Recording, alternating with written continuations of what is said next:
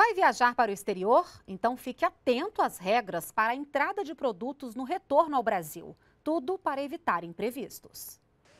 Virgínia ficou oito dias nos Estados Unidos, passeou e fez compras, mas sempre tomando cuidado para não gastar mais do que o permitido pela Receita Federal e pagar imposto. Eu sempre me atento a isso, eu, eu sempre tô, fico dentro do limite. Assim como Virgínia, é importante prestar atenção às regras de entrada de mercadoria ao retornar para o Brasil para evitar contratempos. Livros, jornais, revistas não são taxados. Trazer um celular ou um relógio também não.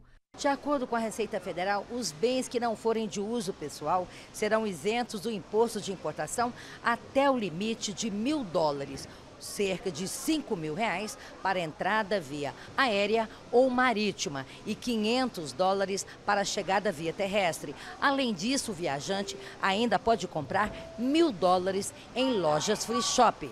Fernanda chegou de Orlando, nos Estados Unidos, e acha que a cota é suficiente. Hoje o limite de mil dólares permite a gente trazer várias coisas sem sem extrapolar a cota, não tem problema. As compras que extrapolarem os mil dólares devem ser declaradas. O imposto a ser pago é de 50% em cima do excedente.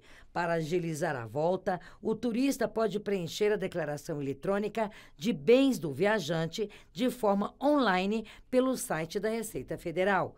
Tatiana foi parada na volta da sua viagem ao exterior, mas não tinha extrapolado a taxa. Eu até fui parada, mas aí passei e não tive que pagar nenhuma taxa.